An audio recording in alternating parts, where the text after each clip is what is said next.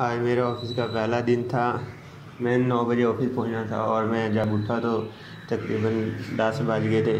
तो मैं जल्दी जल्दी ना आया नहा नो के तो जल्दी मैं निकलने लगा था तो जूता मैंने देखा, जूता तो मेरा वही था, सैंडल मैंने पहने हुए थे। तो बाद में मुझे याद आया कि जूता तो मेरा वो है, कैबिन के अंदर पड़ा हुआ है। तो फिर मैंने जूता पहना और और यहाँ से मैंने किया सुबह का नाश्ता। नाश्ता मेरा मौलाना फजल रहमान वाला ही है तकरीबन मैं पंद्रह बीस हज़ार की कम अज़ कम लस्सी पी जाता हूँ एक महीने के अंदर जो है। नाश्ता करने के बाद मैं पोस्ट ऑफ़िस वाली साइड पे जो है उस रोड पे जा रहा था कि रास्ते में ये, ये सेव मार्ट आ गया। सेव मार्ट से मुझे याद आया कि हमने तो यहाँ से शॉपिंग की थी एक दिन पहले। और बस नाम ही इसका सेव मार्ट है बाकी सेव सू वाली इसमें कोई जगह नहीं है।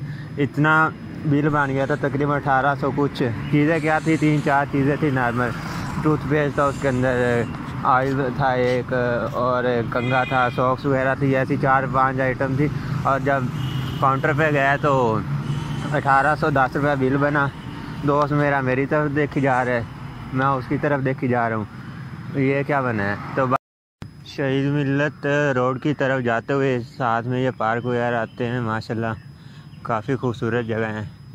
तो ये सामने नज़ारे ऐसे ही हैं कि काफ़ी दूर तक ये है पार्क इसके अंदर काफ़ी मतलब मैंने जाके तो देखा नहीं, देखेंगे अगर टाइम मिला तो कभी, लेकिन बाहर से तो काफ़ी खूबसूरत नज़र आ रहा है, बड़ा इसका जो है।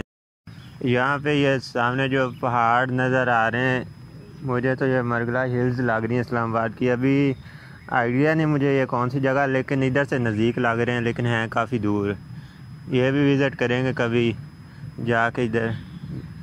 तो ये आप सोच रहे होंगे कि मेरे मोबाइल का जो है कैमरा ऐसे क्यों कर बेसिकली मैं जो है वो पैदल जा रहा हूँ तो बस और ये पहली दफ़ा मैं वीडियो बना रहा हूँ, पहले तो कभी बनाई नहीं इस तरह की।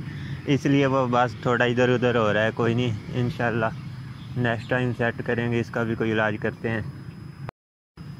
फाइनली इसके बाद मैं पहुँचा हूँ सॉफ्टवेयर हाउस के बाहर। तो अभी ये जो है लाख नहीं ओपन हो रहा। पता नहीं इसको क्या सीन है तो देखते हैं अभी।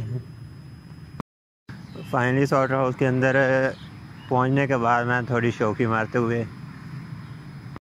ब्रेक का टाइम हुआ था तो भाई देखा, इतनी तेज़ बारिश हो रही है, बहुत ज़्यादा हैवी तो बस फिर कहीं निकले ही नहीं, उधर ही, अंदर ही खड़े रहे।